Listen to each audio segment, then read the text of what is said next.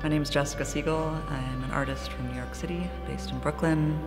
I have a practice that spans sculpture, photography, and video. There's three things located at Spaces. Um, in this room, so behind me, you see it's called a Cuban chug, and it's a handmade boat built with the purpose for um, a illegal sort of migration from Cuba into mainland USA. It's from 1995 until 2017 was actually kind of under the authority to one degree or another that um, a Cuban landing on um, American soil could ask for asylum and have expedited citizenship.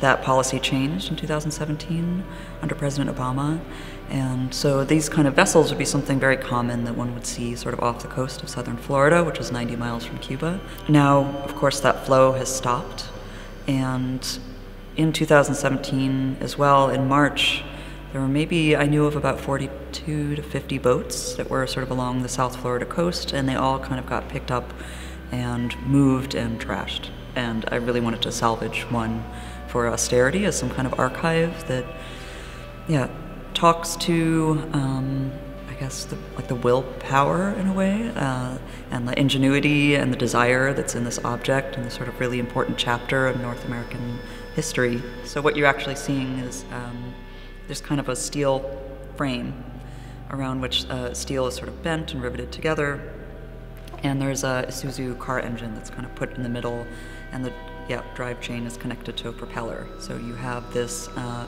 functional uh, object, but um, the design of this one as well is really particular, uh, which is another reason that I chose it. When you are walking along the Florida coast, you can kind of see some similar designs, and you think it might have been the same boat builder in Cuba who was like commissioned in a way to create this vessel. So that's on the south end of the wall, and next to it actually is video work that kind of shows the boat being towed, like it shows the process of what it took to bring it off the uninhabited island um, off the coast of Florida to mainland, which was an ordeal in itself. You have this sort of uh, buried boat that had to be dug up and it had to be um, pulled behind a towboat, but it wasn't seaworthy anymore. It might have been sitting on the beach for 10 years it's possible.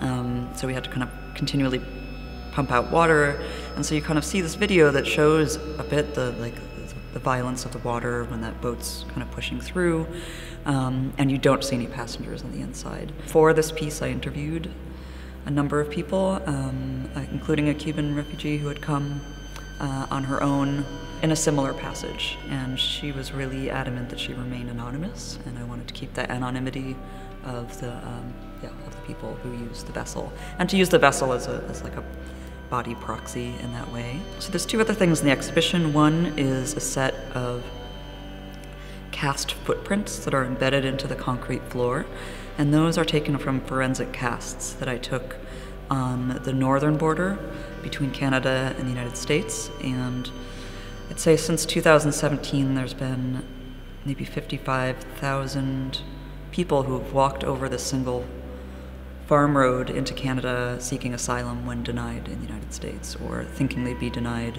in the United States. Um, normally that's illegal. You can't um, ask for asylum in another country in North America after you've been denied in your port of entry. But there's a couple different roads where that can be, um, like you can't ask in a normal border crossing, but there's kind of been these normalized routes that you can pass and um, will get arrested, but then can sort of ask for asylum and go through procedures. The third item I have here is a silk screen that's taken from a New York Times article from 1922. So it's not just it's not just Cubans leaving Cuba after the revolution to come to the United States that use the same passage. There are a number of like a number of different ethnic groups and nationalities that were using this passage to come into the States as well when they no longer had options to sort of emigrate uh, legally. And that included the Jewish population after the Exclusion Acts of 1921 and 24. So my great grandparents were Romanian Jews that were escaping this kind of disenfranchisement in Romania. They came in 1917 to New York. If they'd waited five years, there's a good chance they wouldn't have been able to emigrate legally. So I do consider like the thousands of people that came like these sort of night voyages and these you know fishing boats or handmade boats and think about that sort of I mean, that's almost 100 years ago now. And I'm thinking about now and the sort of reducing quota of how many refugees the United States is accepting and the, the impact of that that that could have. And that it's a larger story, right? Like, who, you know, I'm now I'm a national, like, I've been naturalized. I'm an American, right? Like, how many generations does that take, right?